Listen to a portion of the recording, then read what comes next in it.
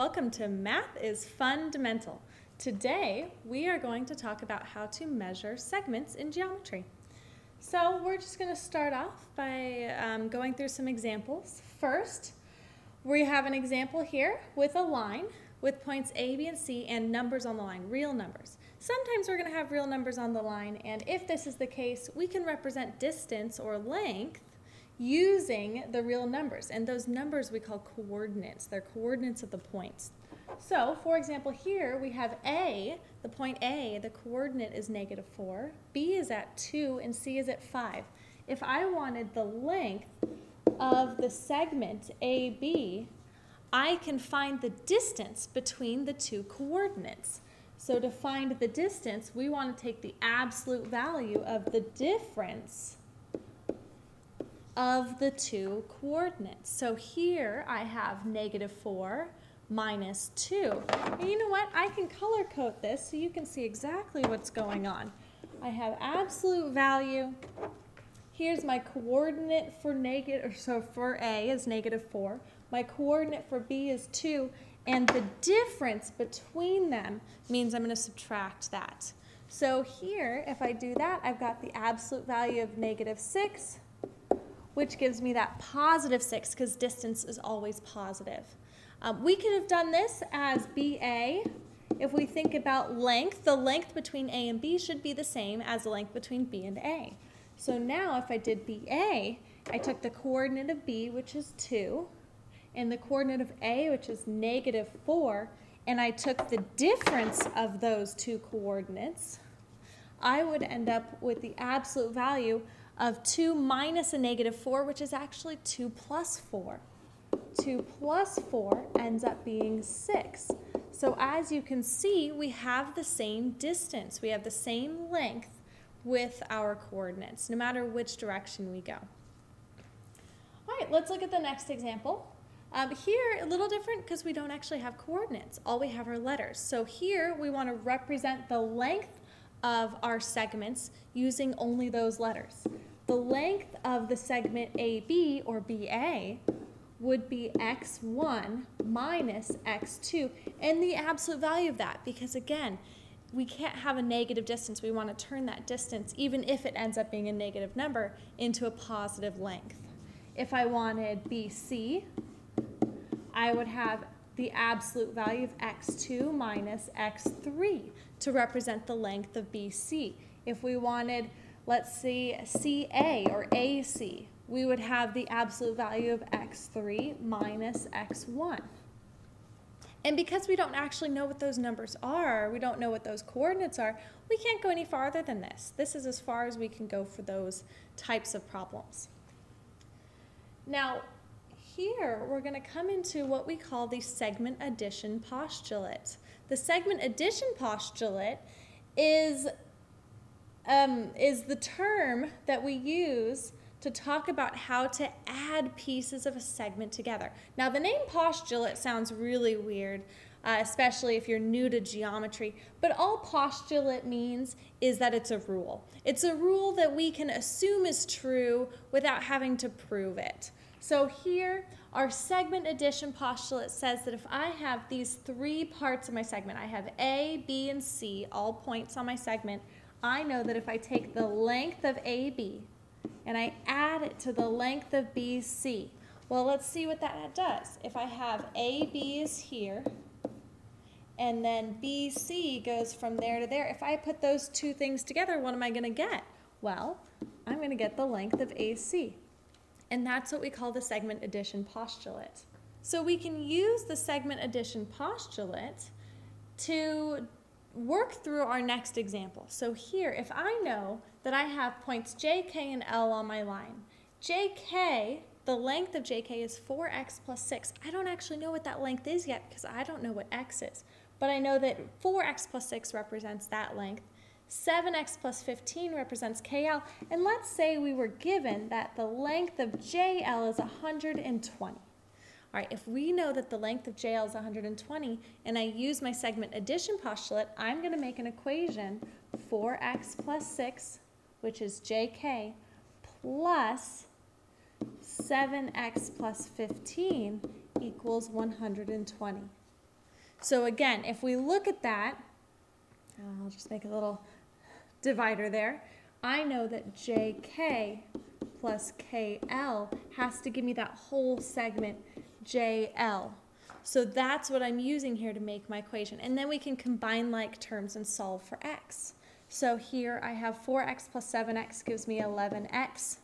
6 plus 15 is going to be 21 equals 120.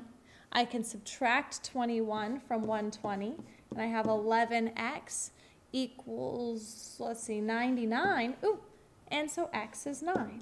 11 times 9 is 99.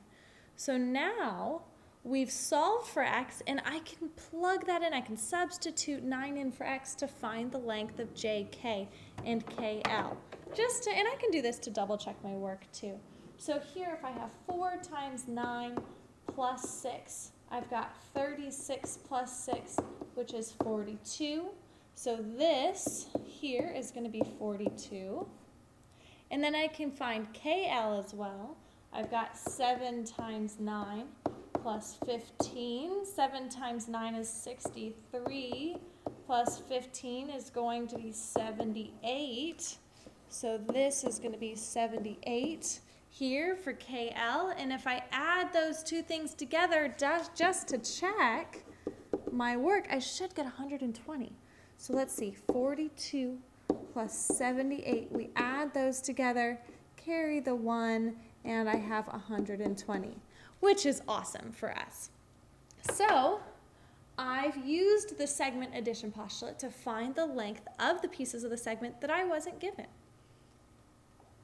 Now, what I want to point out now is that in geometry, we have to be really careful never to assume anything. So if we look at that last example, before we started working with our segment addition postulate, it kind of looks like K is in the middle of J and L.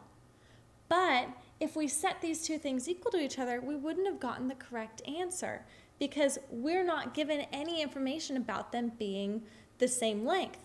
So we can only use what we are what we know is true, and that's that JK and KL. If I put them together, they make um, JL, which I was given was 120. So don't assume that things are equal, even if they look like they are.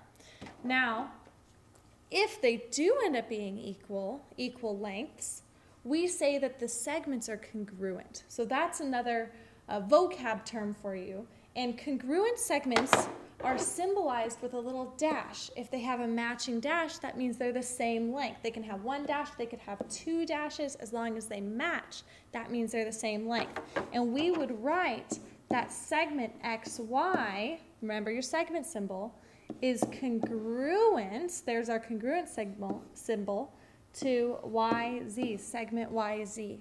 Now, the difference between congruent and equals is that we use congruent when we're talking about objects, like segments. We use equals when we're talking about numbers. So it's going to get a little confusing. Um, we want to note that if I have just x, y without the symbol, that represents length.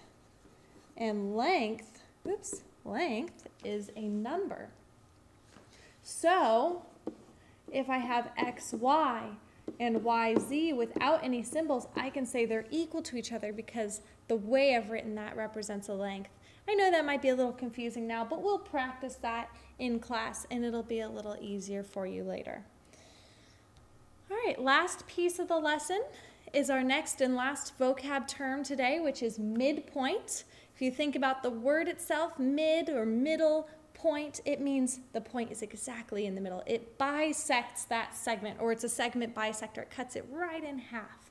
So here, let's look at this example. We have Q is the midpoint of PR, so it's telling us that it is the midpoint. We don't have to assume that it's half because it tells us that it's half.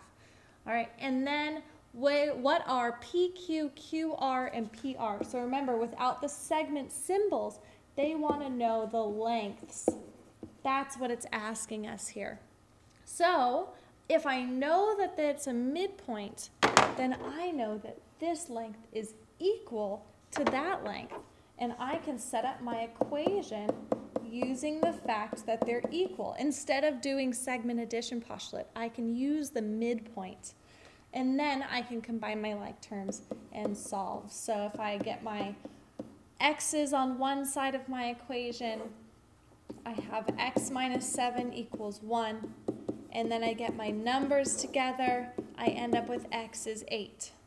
So if we plug that in, substitute it, I'm going to have PQ is 6 times 8 minus 7, which is 48 minus 7. So PQ ends up being 41. And we want to make sure this all works out in the end, so don't box anything until you're sure. We've got QR is 5 times 8 plus 1, oop, which is 40 plus 1. So QR is also 41, which is perfect. We wanted them to be equal. So now I know that those are the right values. And then PR, we just use our segment addition postulate. We add those two things together. 41 plus 41 gives us uh, 82. that would be 82. So PR is 82. All right. And that concludes our lesson for today. Thank you for watching. And remember, math is fundamental.